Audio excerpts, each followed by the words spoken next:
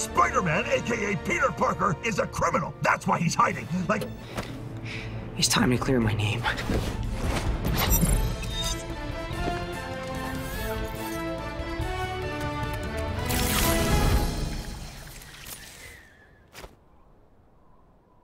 Come on.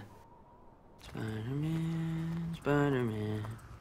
Is he stranded? Yes, he is.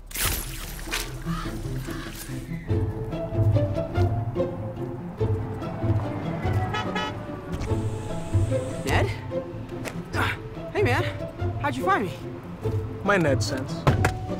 But also, time to face your destiny. What? I don't know, I just wanted to say something really cool. So, uh, what are we gonna do for 300 miles? I spy something red. Me? Nah, darn.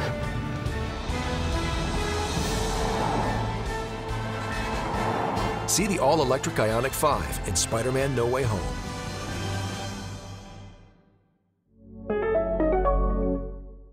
One seven seven A Bleecker Street. Who lives there? You'll see.